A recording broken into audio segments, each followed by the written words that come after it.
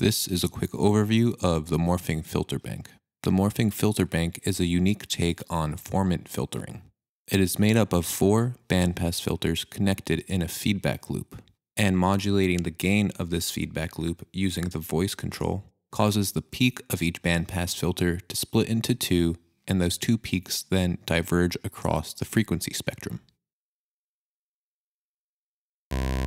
A typical use would be apply a harmonically rich waveform at the input and then tap the different outputs for different timbres.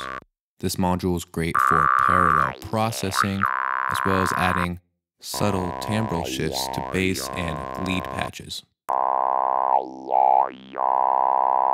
I'm going to jump into some patch demonstrations to show different uses of this module.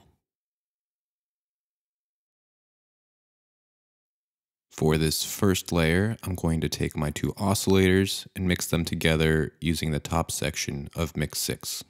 We're going to hear their square wave outputs. The two oscillators are receiving the same CV sequence from our MIDI to CV converter, but they are tuned a fifth apart. I'm now going to take the output of Mix 6 and feed it to the input of the morphing filter bank. Now I'm going to take the two 6 dB outputs from the morphing filter bank and apply them to the two audio inputs on our dual low pass gate.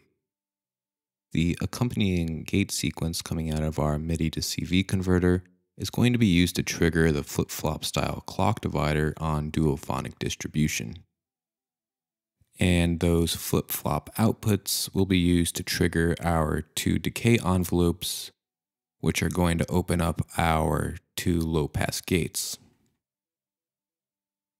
You'll hear that the two low-pass gate outputs are panned left and right in Ableton Live. This patch is similar to the duophonic patch I've shown in previous videos, but it is more bitimbral than it is duophonic, this is because the same monophonic sequence is being applied to both oscillators, and we are instead using duophonic distribution to sequentially trigger two different timbres coming out of the morphing filter bank. To get more variation throughout this patch, I'm going to take our initial gate sequence and apply it to the gate input of the first sample and hold on duophonic distribution. Now the output will provide a random voltage that is in time with our sequence coming from Ableton Live. By applying this random voltage to the input of Gilbert, I can restrain it to a plus or minus 5 volt range. I'm now going to take the fold output of Gilbert and apply it to the CV input of our morphing filter bank. To add another layer of modulation and increase the variation throughout this patch, I'm going to take an LFO and use it to modulate the output level of Gilbert. This will provide some more repetitive modulation alongside the random modulation we are getting from our sample and hold. Our MIDI to CV converter also has a velocity CV output, which I'm going to use to modulate the rate of our LFO.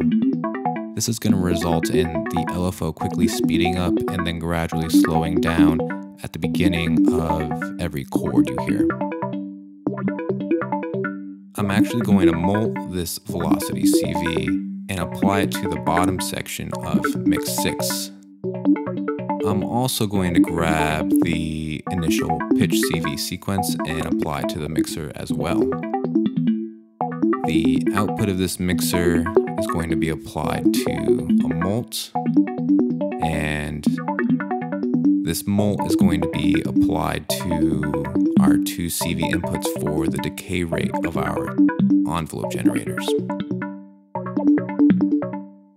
This is going to result in the decay envelopes gradually getting shorter as each chord plays. So at the beginning of each chord, the low pass gate will ring out longer and louder, and by the end of the chord, it will be pluckier and shorter.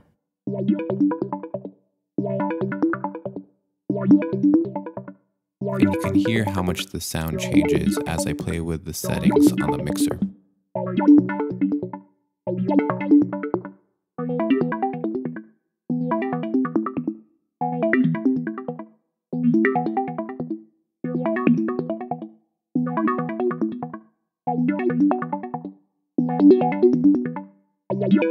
I'm going to add one more layer of modulation to this patch Two more LFOs are going to be used to modulate the pulse width of our square waves.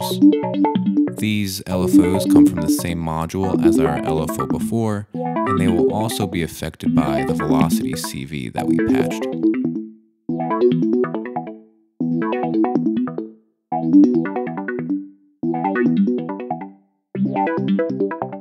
I'm now going to build another patch from scratch and create a simple bass line to show a more subtle use of the morphing filter bank.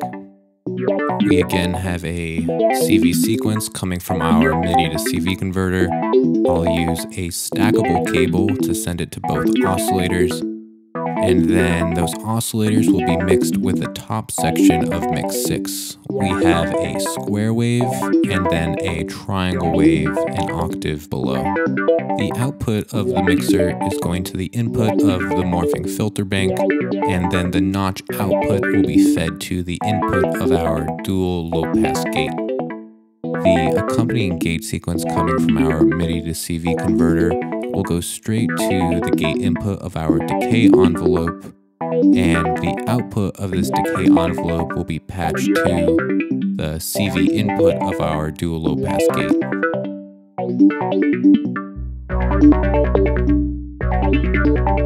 With the patch as it is, we don't really hear the effect of the morphing filter bank. So what I'm going to do is mult our gate sequence and apply it to the gate input of the sample and hold on duophonic distribution like we did with the previous patch. And I'm going to take our random voltage from the output and apply it to the input of Gilbert to again restrict it to a plus or minus 5 volt range. The fold output of Gilbert will then be applied to the CV input of the morphing filter bank. And we might as well modulate the output level of Gilbert with an LFO like we did in the previous patch. We're also going to modulate the decay time of our envelope generator. So we'll grab that same velocity CV from our MIDI to CV converter again and apply it to the bottom section of mix 6. We're also going to mult the decay envelope itself and apply it to that same mixer. We're going to use the input with an attenuverter so that we can invert the decay envelope. The envelope is already exponential, but we can get an even snappier and more exaggerated exponential response by inverting the decay envelope and applying it to its own CV input. So now I'm going to patch the output of our mixer to the CV input of our decay envelope. Currently, our decay envelope is too short to fully open up our low pass gate. And we already sacrificed our DC offset because we used the attenuverter for the decay envelope. But if we grab a DC offset from duophonic distribution and apply it to our remaining input, we can set a minimum value for the decay time. Let's hear the bass line by itself for a little while.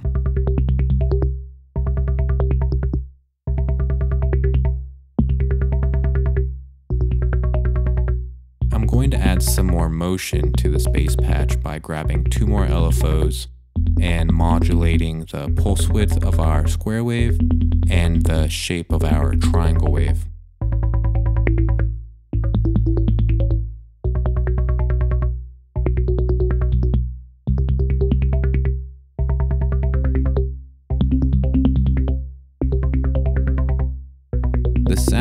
Morphing filter bank changes a lot depending on the audio that you feed it.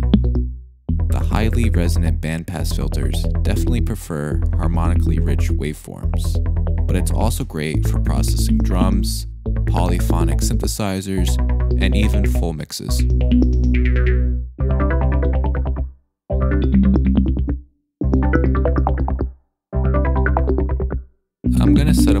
Patch to show how the morphing filter bank is great for parallel processing.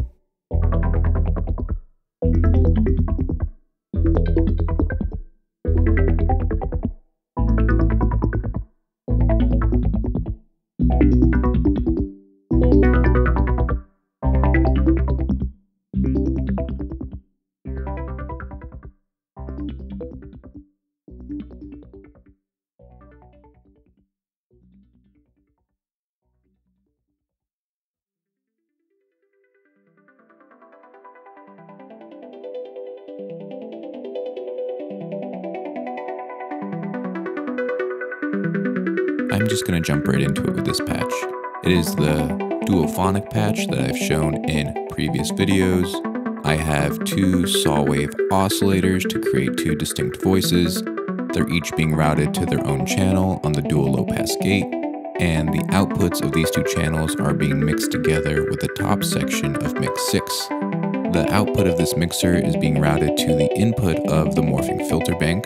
We have three outputs being routed to Ableton. The notch output is being left dry and in the center of our mix, while the two bandpass outputs are being hard panned left and right and being directly routed to a delay and reverb. As for modulation, we have an LFO coming into the bottom section of mix 6. It's being mixed along with a DC offset and our initial pitch CV sequence. The output of this mixer is being routed to a mult and then to the two CV inputs of our decay envelopes. This same LFO is also being processed through Gilbert, and the fold output of Gilbert is being applied to the CV input of Morphing Filter Bank. In this patch, Gilbert is providing a sine wave that is three times the frequency of the input LFO. The output level of Gilbert is being modulated by our original pitch CV sequence so that with different notes you get different amounts of modulation.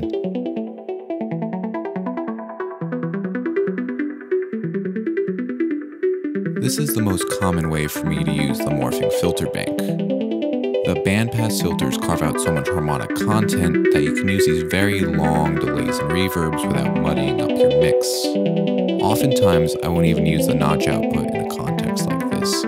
I will mult the input signal and have the input signal dry in the center of my mix, and then use the bandpass outputs to drive delays and reverbs and have them set to 100% wet all of the formant shifting and resonant filter sweeps will get caught up in your delay and reverb and ring out in the background of your mix, creating these very nice atmospheres and interesting textures.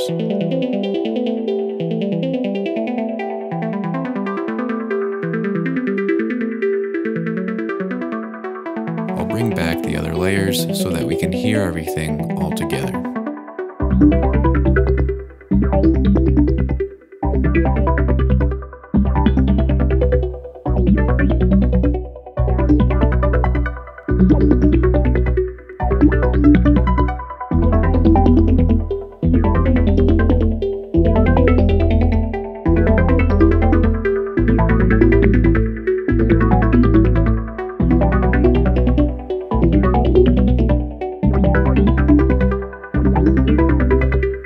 you